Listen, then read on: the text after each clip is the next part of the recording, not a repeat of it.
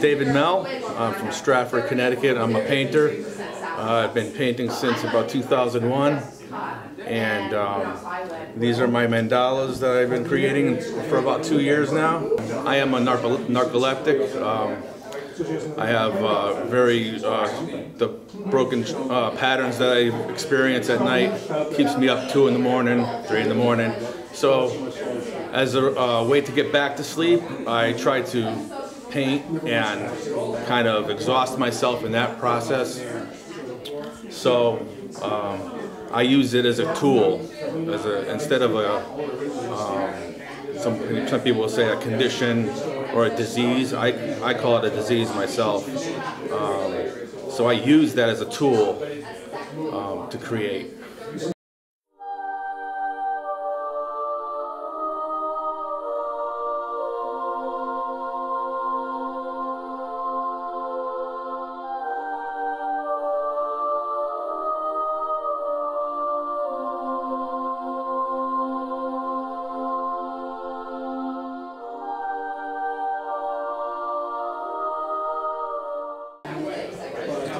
Use a combination of acrylics and oils. Um, and uh, the sizes that we see, I, I kind of use that as a uh, selling point for because I like to sell my artwork. I don't like it to sit in my house. I like people to experience my art on their walls. So uh, the price point is very affordable for people.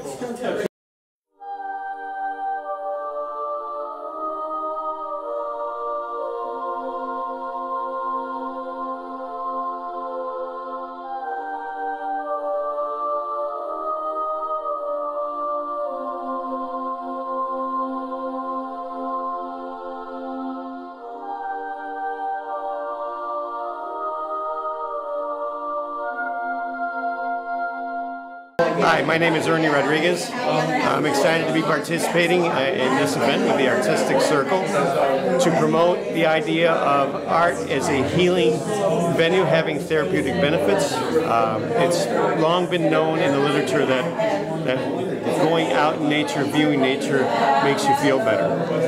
And I got started down this path uh, after visiting a friend in the hospital and going for a hike in the redwoods of Northern California. Uh, I sat there thinking about my friend in the hospital and the, and the fear that hospitals elicit in me and the opposite feeling that I was I was getting from the forest. I was feeling nature uh, nurtured, and I thought, well, how could we bring this feeling into the hospital? And, and the obvious thing was to put a nature scene onto a hospital curtain and bring that healing aspect to the bedside.